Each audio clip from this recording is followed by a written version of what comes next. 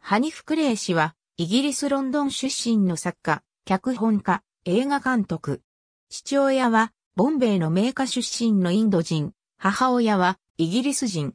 ロンドン大学で哲学を学び、1975年からロンドンのロイヤルコート劇場に勤務しながら脚本を書き始めた。ザ・マザー・カントリーでテムズテレビ戯曲賞を受賞。1985年、スティーブン・フリアーズ監督と組み、テレビ映画用として脚本を書いたマイ・ビューティフル・ランドレットが劇場公開され、数々の脚本賞を受賞し、アカデミー賞にもノミネートされた。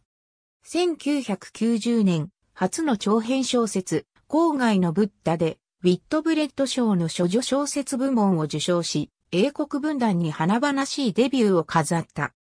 翌91年には、アナーキックな怒れる若者たちを描いたロンドンキルズミーで、自ら監督を務め、93年には、郊外のブッダが英国放送協会により、テレビドラマ化され、デビッド・ボーイの主題歌と共に話題となった。